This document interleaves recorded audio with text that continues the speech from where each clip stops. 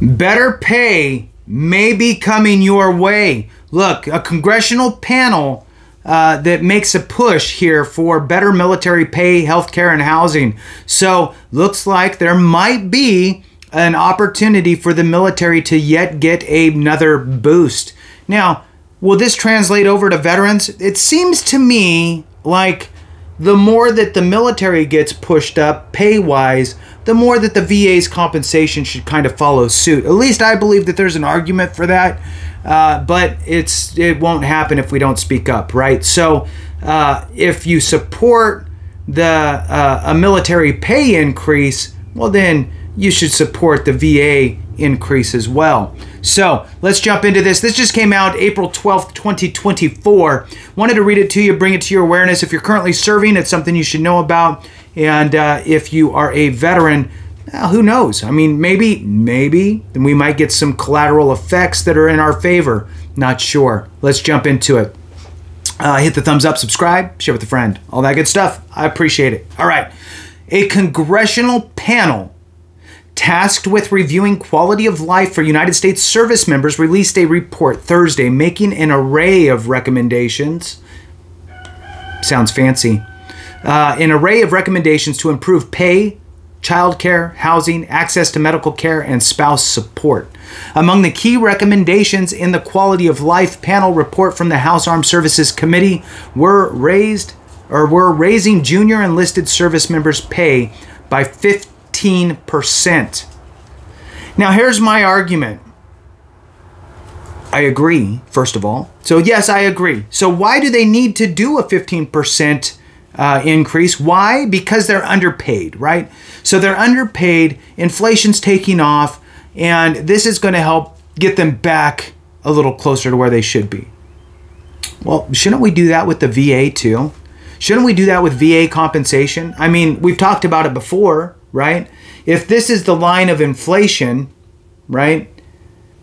If this is the line of inflation for for everything, right? So inflation, and then this is our cola increases, right? Sure, they're both going up, but one's going up steeper than the other, right? Which effectively is giving a greater and greater gap. So what we need to do is we need to stair step up to get us back to where we should be.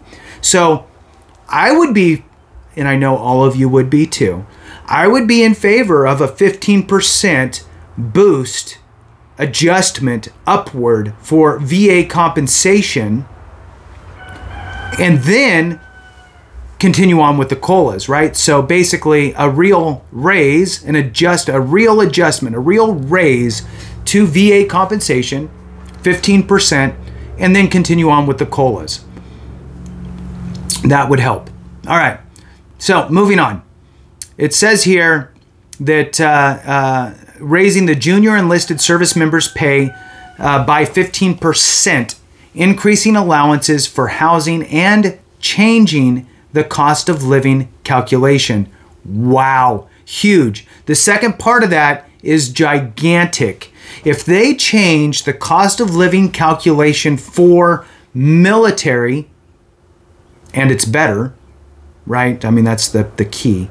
If they change how they calculate cost of living for the military, then the VA should follow suit and utilize the military's cost of living adjustment uh, to mirror uh, instead of the Social Security Administration's. So, this is an interesting twist. I'd love to get your thoughts. Put them in the comments because these are two big things a 15% increase, and a new way of calculating the cost of living calculation.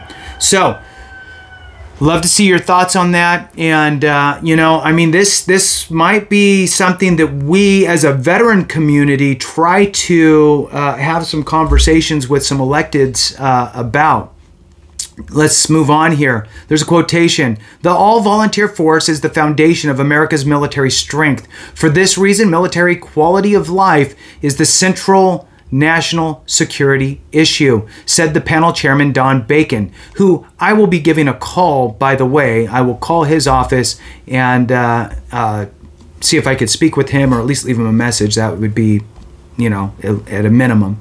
During a press conference on Thursday, this was Don Bacon. So, and we can no longer ignore the clear warning signs that more or less we don't protect and preserve that the all volunteer force. Again, VA fits squarely in that whole realm, right? All volunteer force, security of the nation falls squarely on that. We need to protect that all volunteer force and, and make it uh, uh, lucrative. And the VA is part of that, right? So you serve here, we take care of you, and when you're out, we take care of you. So now, if if they stand for that, they should stand for fixing the VA. I'm, I'm down for the same thing 15% increase and adjust how they calculate COLA. So, moving on. Uh, the Armed Services Committee announced the creation of the Quality of Life Panel last June with the intention of shining a spotlight on issues affecting U.S. service members. The panel heard about a variety of problems, including service members in unaccompanied housing having to regularly deal with issues like gas leaks, bed bugs, and brown tap water. It also cited uh, it also cited reports that a quarter of military members are food insecure. Look, when I was active duty, way back in the 90s, um, we had uh, I was married, had a child, and had uh, we qualified for WIC. My my wife at the time worked full time, and I was active duty, and we still qualified for uh, for WIC, Women and Infant Children. Uh, basically, uh, kind of like a, a welfare food kind of uh, benefit, so we could get certain foods, right, for low cost or no cost or whatever it was. I can't remember; it was so long ago, but it was pretty sad that that you had two working people working full time. Uh, and and still would qualify for something like that. That means that you are low or no income. All right, moving on. During the February hearing on military housing, lawmakers saw pictures of restrooms covered with brown residue and walls full of mold.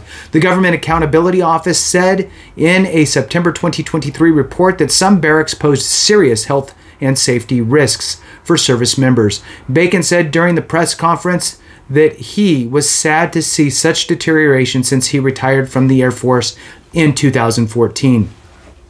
The report also recommends that military services cover all child care fees for staff members' first child and that referral requirements for needs like physical therapy, nutrition, and women's health be dropped. It also recommends that child care access be increased to 180 days while spouses search for a job.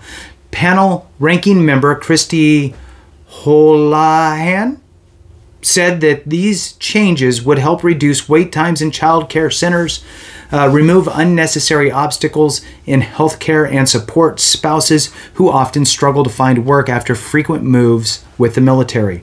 Our military, all volunteer, our military, all volunteer military is the strongest military in the world is deserving of a good wage, safe housing, food options that men and women actually want to eat, and so on and so on and so on.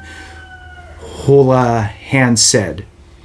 Both Houlahan and Bacon praised the report as truly bipartisan effort to express and expressed their confidence in the suggestions. Armed Services Committee Chairman Mike Rogers said implementing the report's recommendations, starting with the 2025 National Defense Authorization Act, will be an essential step in securing service members and their families.